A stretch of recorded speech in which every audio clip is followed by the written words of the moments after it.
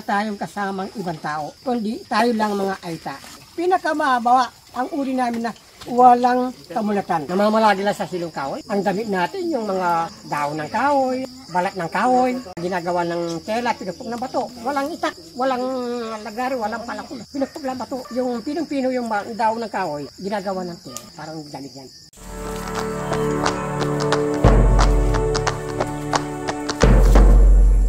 Good morning. So, etong una namin gagawin. Samahan sila tatay sa farm.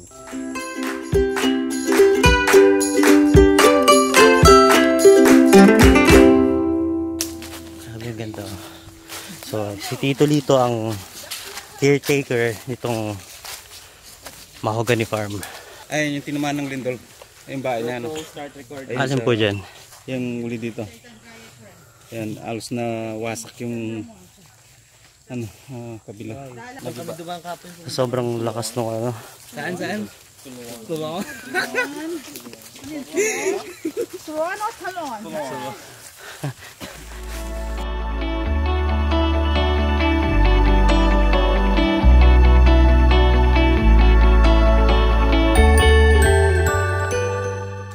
GoPro turn off. Eucalyptus naman yung mga yan. Opo. GoPro stop recording. Hindi pa na Parang sa vlog ko, GoPro turn, on- turn on.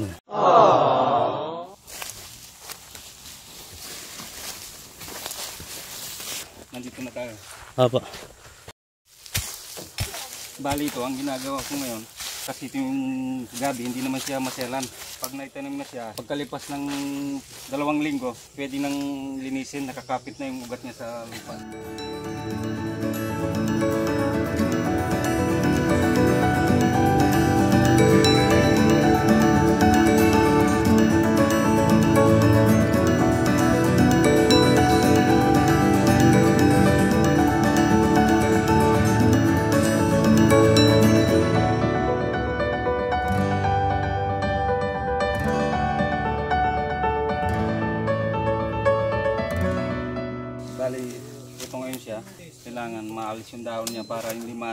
Ugat niya pag kasi itong mga ugat niya na panibagong lalabas. Opo. Tapos itong katawan yung ito, hindi ito lalabas yung yung laman. Dito lalabas ang maging ano niya. Katulad dito. Ito, laman na to lalaki ito. Yung mga ganitong maliliit. Siya yung lalaki.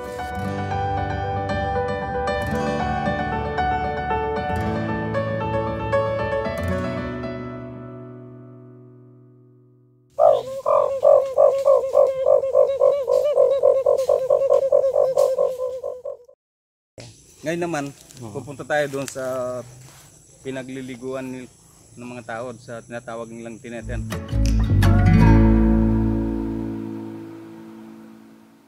Bali, ito po, ah, ito po yung ginagamit natin kapag nagluluto tayo ng kahit anong gusto nating klase na luto ng sinigang. Ito po yung daon niya, yung talbos.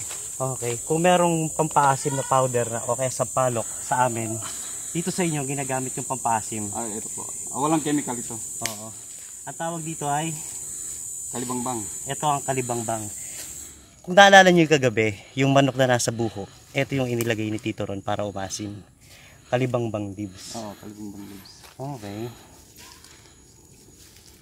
Sarap, pasim. Pero okay naman, mukhang pwedeng kulang na lang to, ano, asin Tito, no? Oh, pasensya na medyo masukal lang, pero kayang daanan. Dito lang tayo mag-shortcut na sandali. Yes, ba dito? Tabi-tabi po, apo. So, ganun sila magbigay ng respeto sa mga espiritu na nangangalaga ng kapaligiran. Ganun sila magpaalam. Hindi pwedeng basta-basta putol. Masama yun, walang respeto yun. Saan po nang galing tong hukay na to dito? Treasure. Treasure. treasure. Ayan, oh, nakita niya yan. So, may nagte-treasure hunting din dito. Ito yung tinatawag nilang kastanyas. Ah, pero bago kainin ito, sinasangag muna. Kami, ang ginagawa namin, hindi naman namin sinasangag. Nilalagay namin sentro sa ano, sa apoy. So, cherry naman dito sa ino. Ito siya. Yung cherry, ah, ang problema, hindi pa siya, hindi pa niya panahon. So, ito ang kanilang lokal na cherry. Ano lasa niya Lalaki dito? pa yan. Ah, matamis-tamis din. Sa anong kulay yan pagka nahinog po? Violet. Kaso hindi pa niya panahon eh. Hindi pa tayo makakapag-harvest.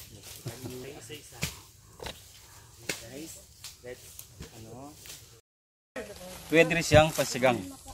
Sumaasim din po yan. Ito ay talilong. Ito rin na ginagamit nila na pangsigang. Hindi siya ganong kaasiman. Mhm. Honey, Bit, saan mo siya nakita? Umalis na yung honey, Bit. Ito, ito na yung way na papunta ng doon sa pinagliliguan. Sa Tineten. Tineten. Ang tineten ay isang parang batis dito kala dito. Oo, ilog siya, ilog. Ilog. Kung saan pwedeng maglaba, paligo. Oo. Pero kadalasan, Alos dinadayo, dinadayo. oh, dinadayo po yun. Na, natigil yung pagdadayo gawa ng bawat merong umakyat. Eh, masasama yung Yan. mga tatabas ng bunga nung naliligo. Sabi nila, nakikita nila yung mga bahay ng mga kulot. Sabi nila, kulungan daw ng baboy. Ang ginawa ng mga ibang katatubo, na, siyempre, na-insulto sila. Sinundan sila ngayon dyan. Ah, binagsak yung kaldero. Pinagtatapon yung mga plato. Ang ginawa ng naliligo, tumakbo sila. Kanya-kanyang takbo. May, may umabot pa nga ng nabuklod.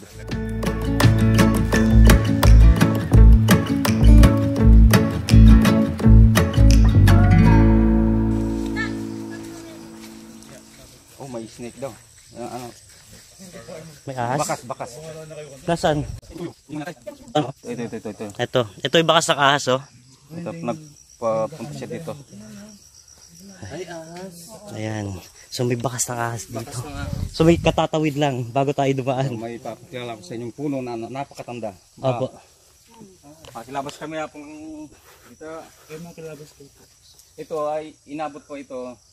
Nabutan na ito ng ah nung panahon ng mga hapon, ng gera. Kahit bago pa mag World War, Nandiyan na yan. nandyan na yung puno na yan.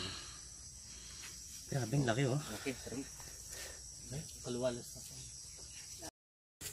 Para makain niya binabasag.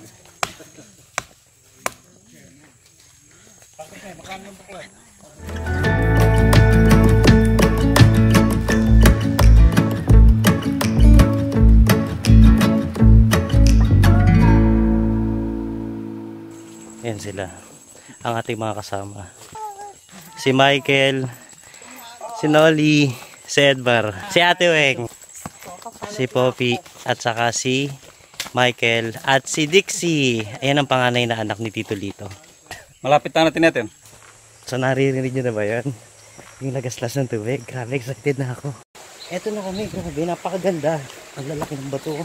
Mukhang mapapasarap ang hilamos ko rito ah. Sigurado malamig to, Tito. Ay, oo. Malamig yan. Naku po, nare-refresh ako nito. Diyan kami nakakuha ng ano. Alam mo yung igat. In, Tito, yung madulas. Oo. Yung parang ahas. Oh, napapalaki. Ako po, malaki pa lang igat din eh.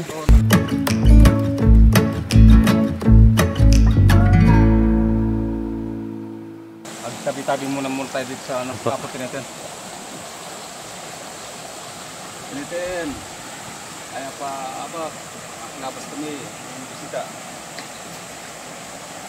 Sa tuwing makit ako dito, nakitabi-tabi ako dito sa bato. Anong may yung mga bato na ito, dito nababahay yung mga hindi natin nakikita. Halos dito, dito sila bumabahay, kaya sa mga puno. Kaya bilang respeto, magbigay mo ng galang. Ano yung nahanap nyo? Maliliit na ano, alimango. Yeah, galing. Bakit mo tinapon? Ito siya, ito siya. Ito siya yung native na alimango. Ayan, oh. Ayan, yan. Ayan, oh, ayan, ayan. oh. Pero masarap yan, masarap yan. Pag ano, kailangan namin ng ulam, mag ano lang kami ng native na alimango o kaya yung susok na marami dito sa ilog.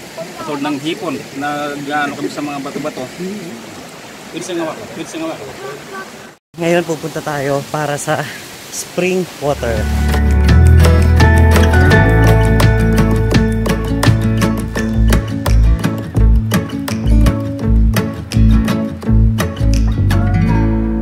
Ayan o. Diyan tayo kakapit.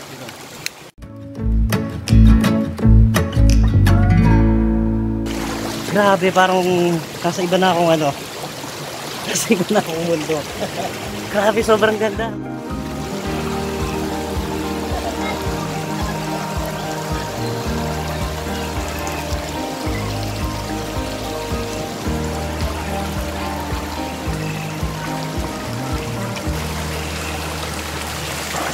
Yan ang Tineten. Pinangalan tong ilog sa Tineten dahil sa salitang tete na ibig sabihin ay tulay. Ginagawa nilang tulayan. Ayan, para makatawid yung mga kapatid natin katutubo galing sa kabilang bundok para lumipat dito sa kabila para may tawid ang kanilang mga ani o harvest. Ano po yan dito? Ah, pure na sibol na nanggagaling sa ugat ng mga alaman sa ilog o kaya punong kahoy. Ayan, ah, siya ay napakalinis at masarap inumin. Malinis na malinis. wow, parang ang sarap noon. Ayan, aw- aw- awakan siya to para hindi matapos. Ito na, ito na. Lasang mineral na talaga yan. Lasang mineral water. Ang sarap. Ang sarap. Parang mineral water nga ang sarap. Dito isa pa po pa-order. Grabe ang sarap. Ito.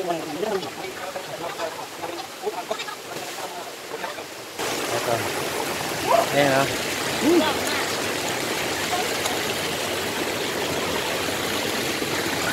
Grabe ang sarap. Ang sarap.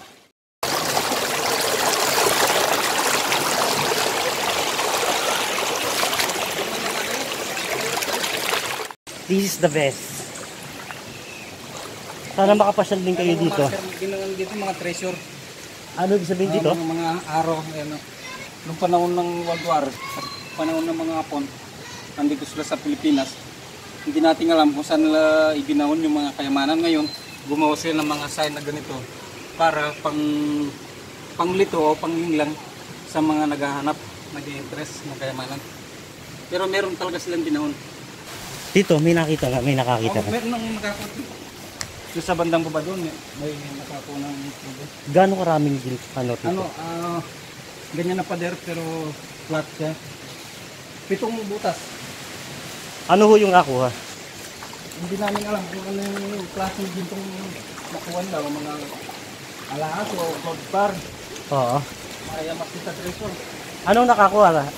Katutubo o mga iba? Not, Pagbalik na tamo, mag-urungan na. mag-urungan na. Oh, ayun. Bumalik na. Sabihin, babalik na. Mag-urong. Kapag po alika dito, makuka din. Makuka din. O alika dito.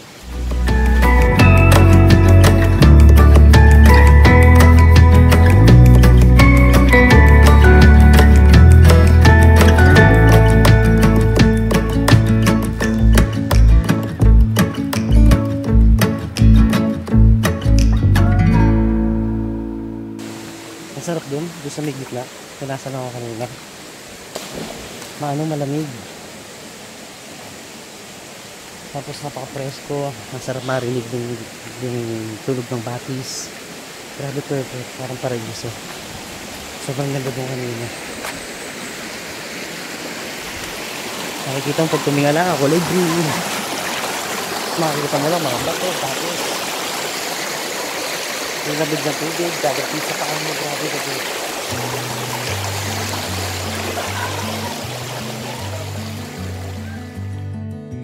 So ngayon, nakakita nyo yung napakataas na bato dito kanina. Nandito na ako nag-umayon. Ay, wala tayo grabe. Sobrang enjoyable oh, kaya nung mga kasama natin kanina umakyat. Ayos, di ba? Ito yung ano, Wow! salad sa pako. Salad sa pako ginawa ni Tito. Tito, maraming salamat. Ito ang pandesal at saka ginamitan nila ng pako. Oh. Kain na tayo, kain na tayo. Kain tayo, kain tayo, tara, kain tayo. Big si Arman, kain tayo. Dali. Mm. Pako. Sarap. Yan ang moreta. Mm. Kain mo. oh. Ang sarap. Napakabira ako mga dilim yung pako.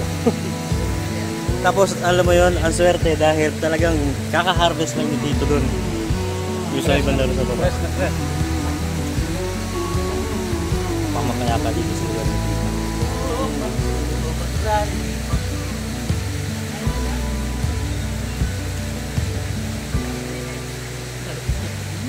The best. Kain nyo to. Pandesal. At saka pako. Napakasarap. Pero makakakuha ng idea lagi. Cellphone ko, anak.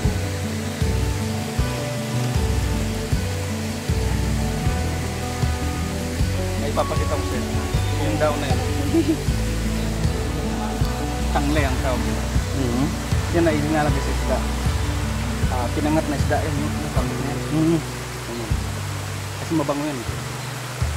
Naalis mo yung langsa ng isda. Anong tawag dito? Ah, tangle. Tangle. Tangle. Talbos ng tangle. Ah, tangle. The best siya sa isda. Pwede rin siyang gawing herbal sa nahihilo. Sa pamilang lang, ilaga yung daon. Opo. Basta kinukuha ka lang ng pitong daon. Dito. Bakit pitong daon?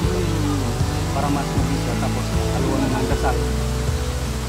Kukuluan, nilamos. Pag nahihilo. Tumako ng souvenir. Ano yan? Laing. Sarap gata to.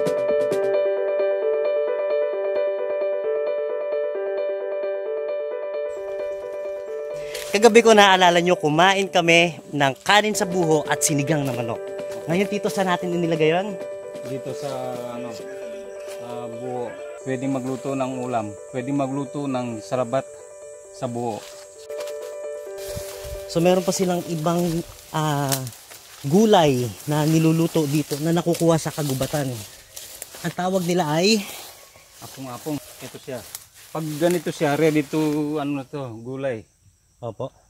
Kapag na naman nakabukadkad na, makati na yun. Kasi masela ng paggugulay nito kailangan naka yung kamay mo po naka may plastic, may gloves ka. Tsaka mo siya babalatan. Pag once na wala kang gloves, mangangati yung kamay mo. Pero napakasarap nito. Ito ko nang kunin. Masumatry ko sa bahay. Wow! Apong-apong dito. Oo, apong-apong. Ayan. Dito, hindi ka ba mga dyan dito?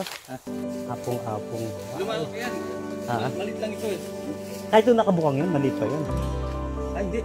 Talagang ano, ah, may part ng lupa na tumutubo sila na talagang ah, malaki. Opo. Halos ang laki ganito. Ganito. Uy, malaki. So parang nagiging puno pala yan. Mm-mm. Ang bulaklak nito ay napakaganda. Subalit ang ganda niya, yun naman ang hindi ng amoy. Kasangsang yung amoy. Ah, Parang paso. Oo. Yung bulaklak niya. Sana makamay madaanan tayo na. Ay, ano na, wala na tayong makitang ganun kasi ano, pag nag-uumpisa yun, tuwing bago pasok yung, yung tulo ng ulan, tag-ulan. So mga Mayo. Oo, Oo, ma. makikita mo sa napakaganda. Violet, violet siya. Opo. Ayun,